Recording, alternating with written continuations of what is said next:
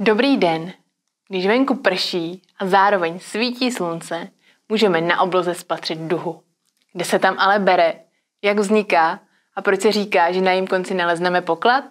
Tak to si řekneme v dnešním krátkém videu. Snad každý někdy viděl na obloze duhu, kterou po přehánce vykouzlí dešťové kapky a sluneční paprsky. Kde se ale berou její barvy? Bílé sluneční světlo se při průchodu opticky hustším prostředím kapky rozkládá, láme se a odráží. Každá barva spektra má jinou vlnovou délku a proto se láme pod trochu jiným úhlem. Nejvíce láme modrá část spektra, naopak nejméně červená.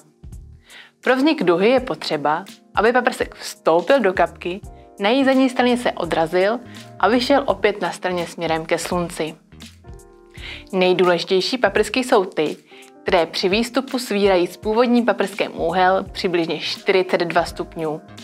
Kvůli tomu má duha tvar kružnice o poloměru právě 42 stupňů, ale ze země můžeme vidět jen její část.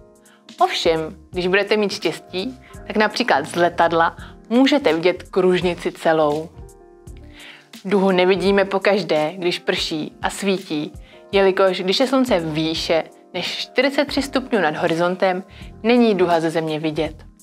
Naopak, nejvýraznější duhu můžeme pozorovat, když je slunce těsně nad zemským povrchem.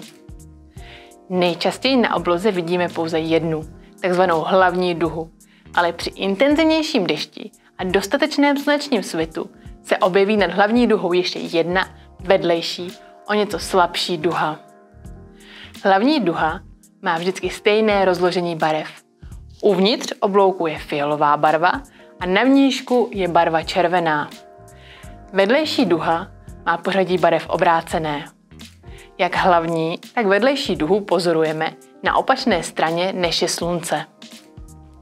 Duha může vzniknout i za svitu měsíce, ale jedná se o velmi vzácný jev, a to zejména z důvodu slabého měsíčního svitu.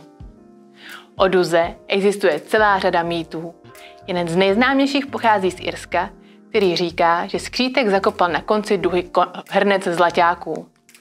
Lidé také věřili, že tam, kde se dotkne duha země, najdou duhovky. Tak se označovalo keltské platidlo.